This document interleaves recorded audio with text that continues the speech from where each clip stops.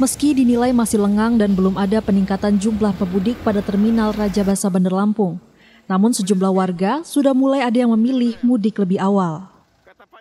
Hal ini dilakukan warga lantaran selain menghindari kepadatan di hari puncak arus mudik, juga sekaligus mengantisipasi bila adanya kebijakan baru dari pemerintah yang kembali melarang mudik.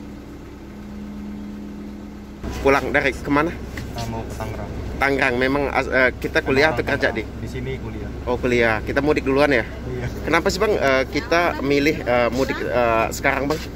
Uh, uh, takut padat juga, takut ada kebijakan pemerintah tiba-tiba nanti nggak boleh atau gimana. Gitu. Takutnya nggak bisa kumpul bareng keluarga pak. Oh gitu.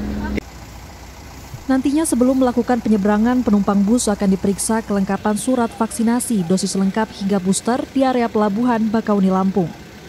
Bila ada penumpang yang belum melakukan vaksin, maka akan diarahkan untuk melakukan vaksin hingga rapid test atau PCR. Romal Priyaidam, Kompas TV, Lampung.